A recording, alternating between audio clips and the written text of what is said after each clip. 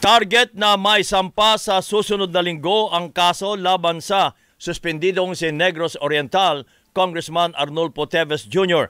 Sinabi ni Justice Secretary Boying Rimulya na posibleng maharap si Teves sa reklamong multiple murder at frustrated murder matapos iturong mastermind sa pagpatay kay Governor Digamo at walo pang biktima ng massacre. February 28 nang magpunta ng Amerika si Congressman Teves para sa stem cell treatment pero hindi pa bumabalik ng Pilipinas dahil sa sinasabing natatakot para sa kanyang buhay.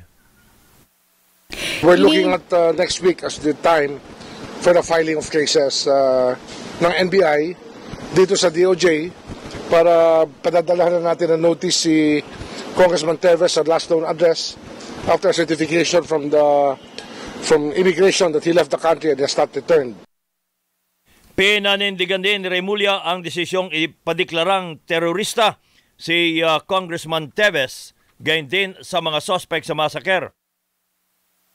May pattern naman talaga ng killings. Uh, kung uh, finalo nyo yung Senate investigation o kung fina-follow nyo, meron talagang pattern of killings na nangyayari. Natakot at takot ang mga tao. Kung ang polis nga hindi makasalita eh. Nung kailangan namin kausapin pagkatapos patayin si Governor Digamo, eh, kung ang pulis para bang takot at takot, sino pa hindi matatakot?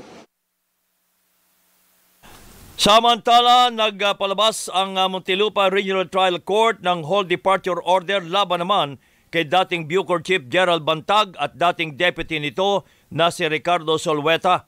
Dahil dito, hindi na maaring makalabas ng Pilipinas sina Bantag at Solweta na naharap naman sa kasong murder kaugnay ng pagpatay sa broadcaster na si Percy Lapid at ang middleman na si June Villamor.